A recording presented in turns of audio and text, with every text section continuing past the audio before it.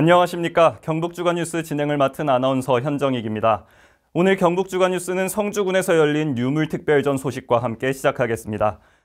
지난 5월에 성주군 성산동 고분군 전시관이 공식적으로 문을 열었는데요. 전시관에서 처음으로 기증 기탁 유물 특별전이 개최됐습니다. 성주군을 빛낸 위인들의 유물을 한자리에 모아둔 이번 특별전에는 30년 넘게 틈틈이 모은 토기부터 문중에서 선뜻 내놓은 물품들까지 357점의 유물이 등록됐습니다. 이렇게 기증 기탁받은 유물은 성주 지역의 터전을 잡았던 성산가야의 정체성을 찾는 데에도 큰 역할을 하고 있습니다. 성주방송에서 전해드립니다. 성주군은 10월 1일 성주 성산동 고분군 전시관에서 기증 기탁 유물 특별전 개막식을 개최했습니다. 이번 특별전 빛나는 사람들은 오랜 시간 소중하게 보관해오던 유물을 성주군에 기증 기탁해주신 분들의 고귀한 뜻을 전하고 이 유물들의 가치와 아름다움을 널리 알려 기증 분위기를 활성화하고자 개최됐습니다. 전시 기간은 10월 1일부터 10월 31일까지 총 한 달 동안 진행되며 성주 성산동 고분군 전시관 1층 다목적 강당에서 기증 기탁 유물들을 관람할 수 있습니다. 이병환 군수는 기증 기탁자분들께 깊은 감사의 마음을 전하며 이번 특별전을 통해 성주의 역사와 문화를 널리 알리고 고분군 전시관이 더욱 활성화되는 계기가 되길 바란다고 말했습니다. 경북 영주시가 시민교육복지 향상을 위해 한국복지사이버대학과 관학 교류 협약을 체결했습니다. 이 소식은 영주미디어에서 전해드립니다. 영주시는 한국복지사이버대학과 관학교류협약을 통해 사회복지교육과 자격증 취득을 위한 원격 교육 서비스 제공으로 시민들의 평생 교육의 기회를 균등하게 보장하고 지역사회의 전문인재 양성을 기대하고 있습니다.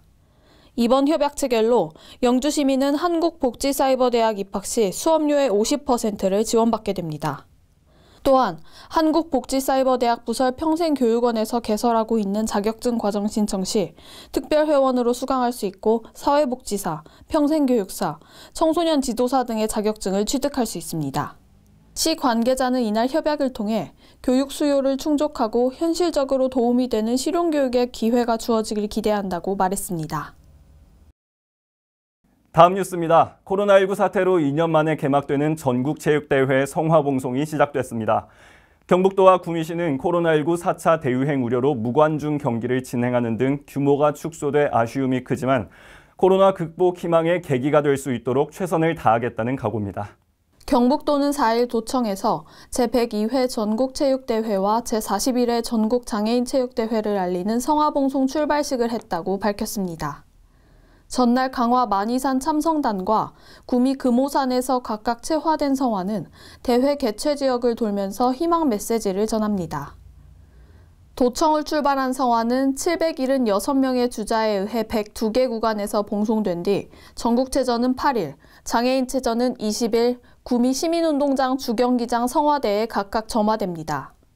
이철우 경북지사는 대회장을 훤히 밝히고 국민의 마음에 희망의 불꽃을 피우는 안전한 성화봉송과 위드 코로나의 시금석이 되는 안전체전이 되도록 온 힘을 다하겠다고 다짐했습니다. 마지막 소식입니다. 경북도청 이전 신도시 2단계 사업 추진에 가속도가 붙고 있는 가운데 하대성 경북도 경제부지사가 건설 사업 현장을 찾아 현장 점검에 나섰습니다. 하대성 경북도 경제부지사는 경북도청 이전 신도시 2단계 건설 사업 현장을 찾아 추진 현황을 보고받고 건설 현장의 관계자들을 격려했습니다. 현재 2단계 신도시 개발 사업 추진은 기반시설 공정률 51% 진행 중이며 단독 주택 용지는 3개 블록 총 550필지가 분양 완료됐습니다. 또한 변화된 주택시장에 대응하기 위해 선도지구 지정 및 설계 공모 방식으로 차별화된 주거 환경을 조성해 공동주택의 분양률을 높일 예정입니다. 하대성 경북도 경제부지사는 도청 이전 신도시 개발 계획 최초 수립 후 시간이 많이 경과했다며 전 경북도민이 만족할 수 있고 자부심을 가질 만한 도시로 건설할 것을 당부했습니다.